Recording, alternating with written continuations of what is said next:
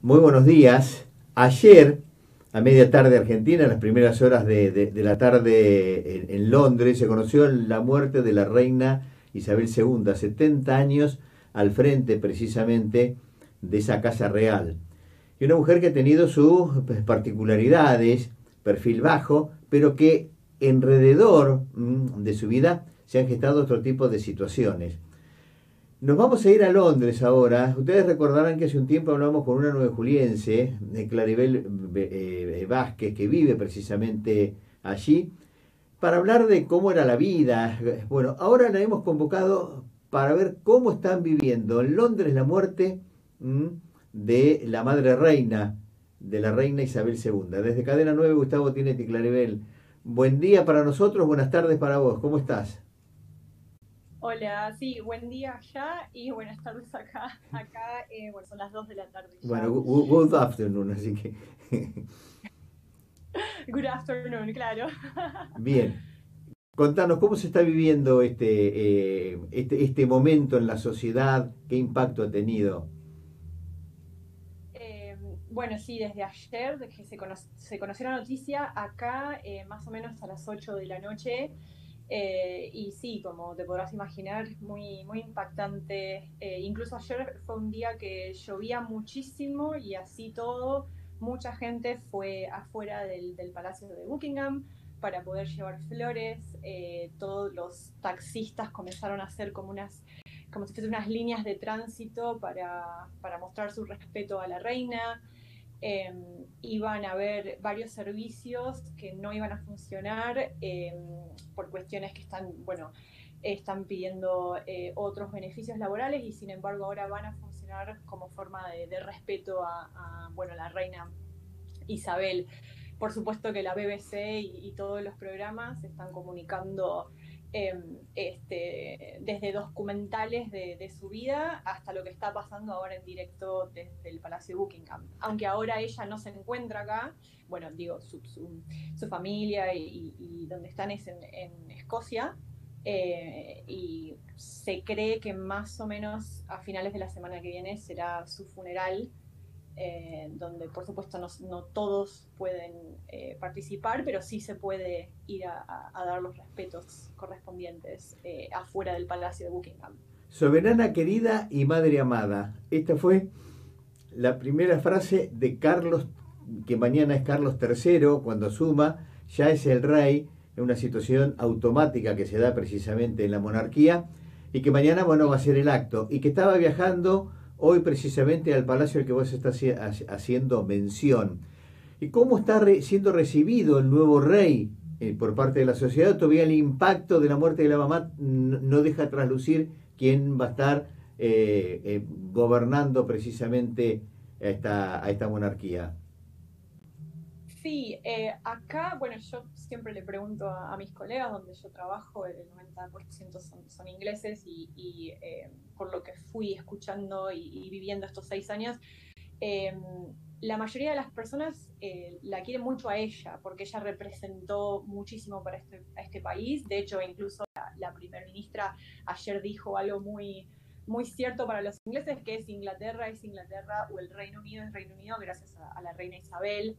Em, no nos olvidemos que Carlos tuvo su problema con, con eh, Lady Di cuando falleció y cuando él empezó su con Camila, por lo cual en un primer momento eh, no fue muy aceptado él incluso como príncipe. Em, entonces ahora el foco está más que nada puesto en poder despedir a la reina como, como corresponde.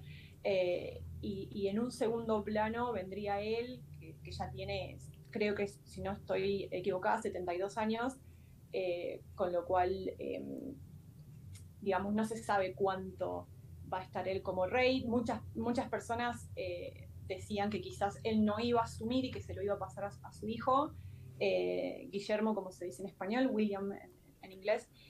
pero bueno, eso va a suceder, él va a ser, ya es rey. Em, pero por ahora no, la, importancia no está puesta en él como rey, sino en, despedir a la reina y, eh, creo que después de que sea el funeral de ella se verá cómo, se lo recibe él como rey. hay muchísimas personas en Inglaterra que no están de acuerdo con tener la realeza o la monarquía, porque mucha parte de nuestros impuestos va eh, a la realeza. Por lo tanto, en general, las personas que no, no están de acuerdo con la realeza, eh, no, digamos, no, no le suma importancia ni lo de la reina ni lo de ahora Carlos, em, pero en gran mayoría diría que, que la prefieren más a ella. Eh, pero bueno, cuando cuando Isabel asumió tampoco era muy querida porque su padre había sido un gran, gran rey eh, y ella tenía solamente 25 años.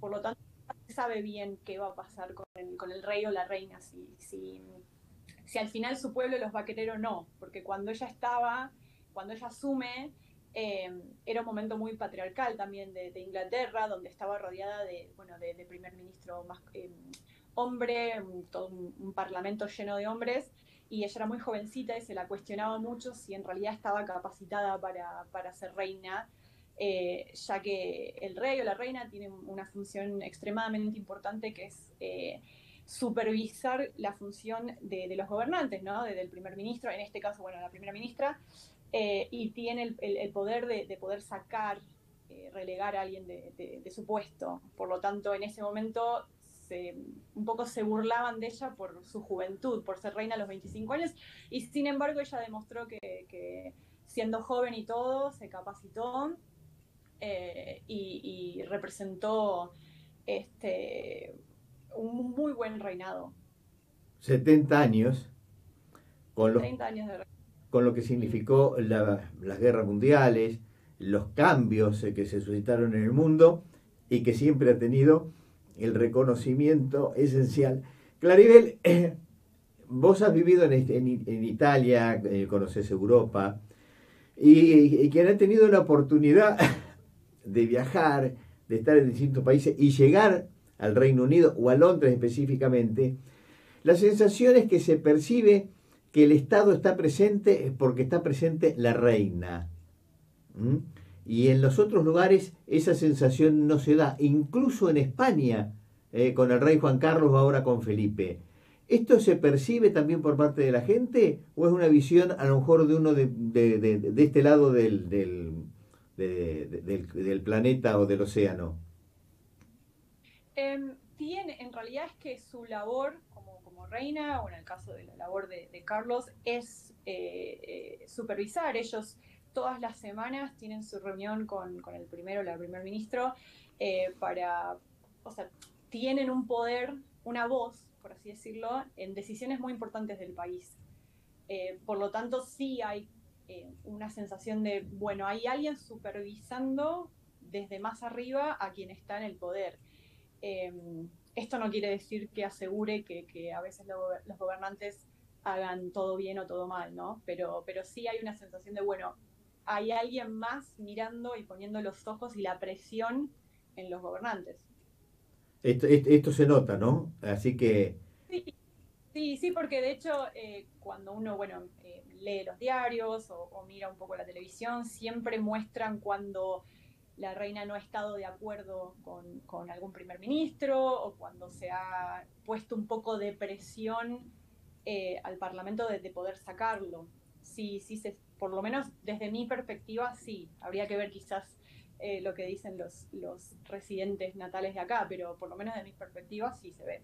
Bueno, esa recorrida pasando por distintas ciudades, que va a ser en tren llevando el féretro, eh, ¿cuándo comienza eso? ¿Es mañana sábado o el domingo? Me parece que es el domingo, em, y sí, y por lo que tiene estipulado, el sábado 17 sería el funeral, pero todavía no estaba confirmado. Bien.